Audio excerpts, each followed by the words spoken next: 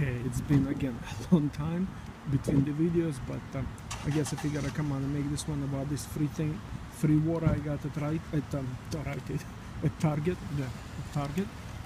Here's the deal with it. Uh, this free water is on sale. I'm not sure if it's a monthly or a weekly or whatever it is, but it's on sale for a dollar.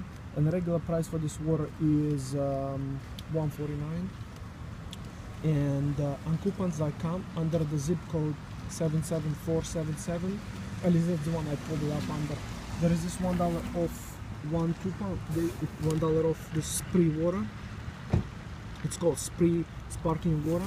And as you can see it's available on target so I don't know if other stores sell it.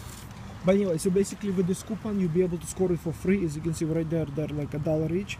And there is the coupons. I got like 20 of them in the same transaction uh, for some reason like last two coupons didn't scan. I don't know why but i just you know i didn't want to like scan price it still. It was a, a bad deal then i had to pay um, you know the five cent deposit but whatever.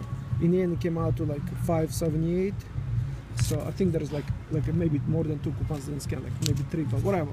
So again um, 77477 the on coupons.com you'll be able to this coupon does not expire until august the 1st as soon as my phone focuses. August the 1st so but again I would print this coupon as soon as possible and run to Target and get yourself some free sparkling water. So that's pretty much it. Thank you